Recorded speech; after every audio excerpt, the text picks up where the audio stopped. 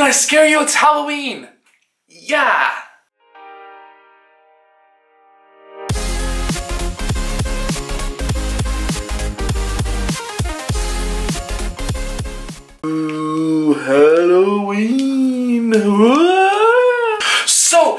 Here today to show you something absolutely fantastic I thought of last night. We all get these chocolate bars. Okay, maybe not these chocolate bars, but a smaller version of those.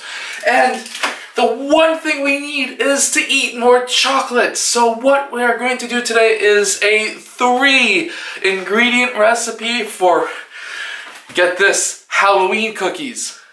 So, we're gonna have an O. Henry bar. This is like four little Halloween-sized chocolate bars, all smushed in together into one.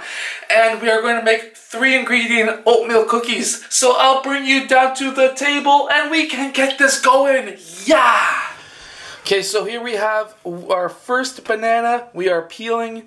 We are going to be using two bananas and then obviously get rid of the little nipple and we're going to be putting two bananas in the bowl. And into the bowl. And now we are going to smush them down. We're to go smushy smushy. And as this is Halloween, I should say that by smushing them down, that kills any worms that could be in there. uh, that's that's something for you to really think about when you're eating bananas is worms. So once you get it into somewhat of a gushy mess, you are going to be using whole grain oats and about a cup of them. So let's let's get a cup of them in there. That's about a cup. So now we're going to be mixing this around.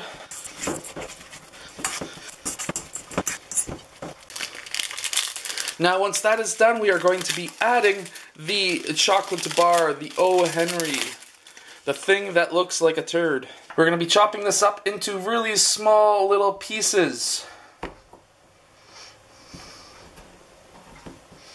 You're going to get a better knife. And then obviously, because I want to, I'm going to have a piece for myself. Now you're going to be adding it all together. It all falls in. Yay! Now you're going to mix it all together one more time. Now we are coming over here and we are going to be setting the the oven for bake and then we're going to go for 375 and then we are going to start and it's going to warm up and then we will be entering them into the cauldron of greatness. Uh, once that is all warmed up and preheated we will be entering that into the cauldron and then we will be able to have some beautiful, beautiful cookies. And uh, give me a few seconds, let's go some TV magic, or YouTube magic, and do this, yeah. Okay, so the oven has warmed up. We have our stuff that I put in the fridge while that was warming up. And now we can get a, a, a forkful, we can put it on there, we can squeeze down. And if you'd like, you can even get a handful and squeeze it into a ball and put it on the pan, push down. So this makes roughly eight cookies and now we're gonna stick it into the oven after I wash my gooey gooey hands.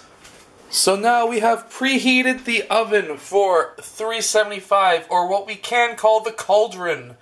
And we are to stick these beautiful cookies into the cauldron. The cauldron is going to be, well, they're going to be in the cauldron for about 10 minutes.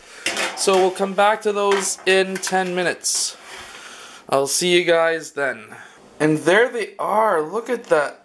They are so good. Oh my god. Some of them melted the chocolate. Actually, they're all melted chocolate, but most of them stayed together. That one didn't, but that one didn't, but most of them did. So that's okay. Let's try these out in a second once they warm, warm or cool off, I mean, I should say. Okay, so here we are. We have, uh, well, these things. So they turned out pretty good. They stay together at least. Let's try them for the first time ever. Mmm.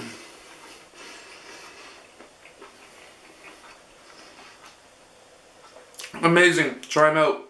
They're so good. Oh my god. See you guys next time.